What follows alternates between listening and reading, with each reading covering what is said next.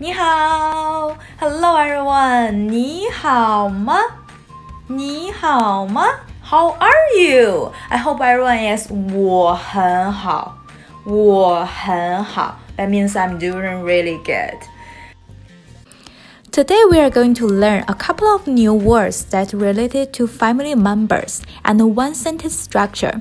Let's kick off with all the new words. 第一个，first one，爸爸， 爸爸。第二个，second one，妈妈，妈妈。第三个，third one，哥哥。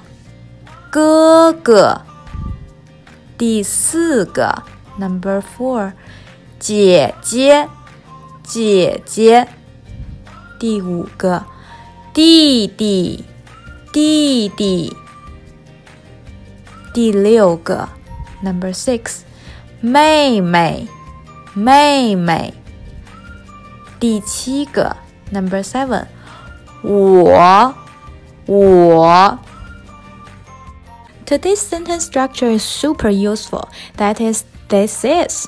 How to say this is in Chinese? That is, 这是,这是. For example, if you want to say this is me, you can say 这是我,这是我. If you want to say this is father, you can say 这是爸爸,这是爸爸.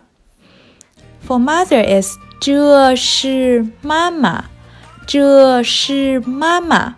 If you want to say this is older brother, that is 这是哥哥。 Okay, now if you want to say my father, you gonna just simply put 我 in front of 爸爸。So my father is 我爸爸。So how to say my mother? Yes, that's right. My mother is 我妈妈. If you want to say my older brother, that would be 我哥哥.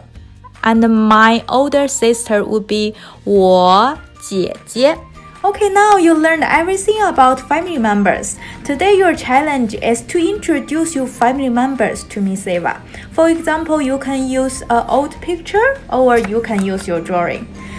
I'm using my picture. Let me show you how I'm introduce my family member.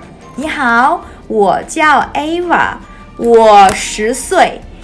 今天星期四，Today is Thursday.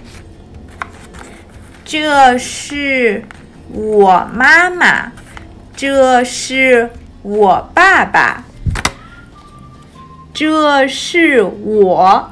谢谢。